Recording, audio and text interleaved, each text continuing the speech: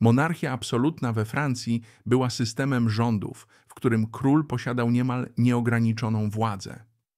Rozwój tej formy rządów można prześledzić na przykładzie panowania Henryka IV, Ludwika XIII i Ludwika XIV, gdzie każdy z tych monarchów stopniowo wzmacniał władzę królewską. Henryk IV był założycielem dynastii Bourbonów we Francji i jego rządy były kluczowym momentem w przechodzeniu kraju od chaosu wojny religijnej do stabilizacji. Był to czas po wojnach religijnych, kiedy Francja była podzielona i zniszczona. Henryk IV dokonał wielu reform, które pomogły odbudować kraj.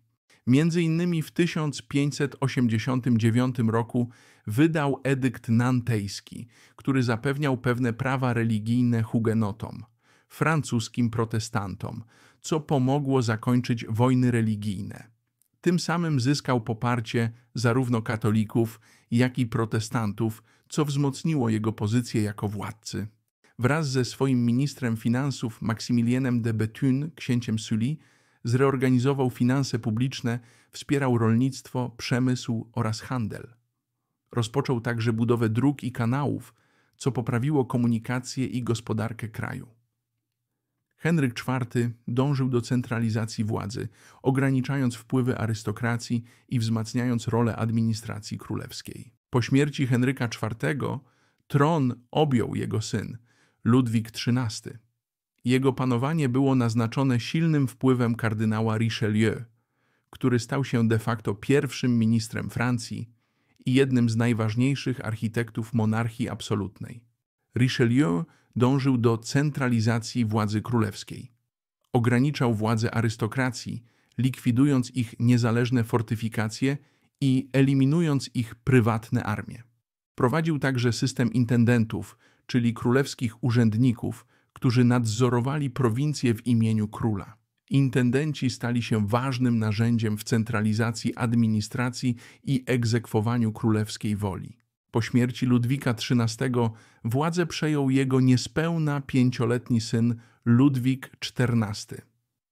Przez okres jego młodości faktyczną władzę sprawował pierwszy minister Juliusz Mazare. Po jego śmierci Ludwik XIV zaczął rządzić samodzielnie. Ludwik XIV, znany jako Król Słońce, jest najbardziej znanym symbolem monarchii absolutnej we Francji. Jego długie panowanie jest często uważane za apogeum absolutyzmu. Dążył do absolutnej centralizacji władzy, często powtarzając słynne państwo to ja. Zmarginalizował wpływ szlachty i arystokracji, zmuszając niektórych do rezydowania w Wersalu co miało na celu ich kontrolowanie i ograniczanie wpływów. Wersal, zbudowany na jego zlecenie, stał się centrum administracyjnym i kulturalnym Francji. Przeniesienie dworu do Wersalu było symbolicznym i praktycznym krokiem ku centralizacji władzy. Ludwik XIV patronował sztuce, literaturze, muzyce i teatrowi. Jego dwór był centrum kulturalnym Europy. Wspierał wielu artystów, co przyczyniło się do rozkwitu francuskiej kultury. W tamtym czasie ministrem finansów był Jean-Baptiste Colbert, który wprowadził politykę merkantylizmu, polegającą na zwiększeniu bogactwa i potęgi państwa poprzez kontrolę gospodarki i promowanie eksportu kosztem importu. Wspierał przemysł, handel i kolonializm. Colbert starał się zrównoważyć budżet państwa rozwijając infrastrukturę i zakładając manufaktury. Ludwik XIV prowadził agresywną politykę zagraniczną, angażując się w liczne wojny, które miały na celu rozszerzenie terytorium Francji. Jego działania militarno-ekspansywne często obciążały skarb państwa, prowadząc do długów i nędzy w późniejszych latach jego panowania.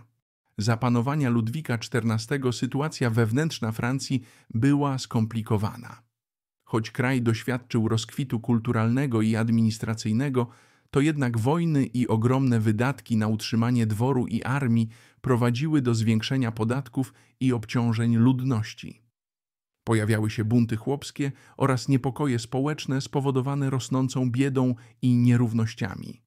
Podsumowując, monarchia absolutna we Francji rozwijała się stopniowo, zaczynając od stabilizacyjnych rządów Henryka IV poprzez reformy Ludwika XIII i Richelieu, aż do pełnej monarchii absolutnej zapanowania Ludwika XIV. Proces ten był wspierany przez kluczowe postacie, takie jak Richelieu i Colbert, którzy swoimi działaniami umacniali władzę królewską, jednocześnie rozwijając gospodarkę, kulturę i administrację kraju. Dziękuję za obejrzenie filmu. Jeżeli film spełnił Twoje oczekiwania, daj lajka i zasubskrybuj nasz kanał na YouTube.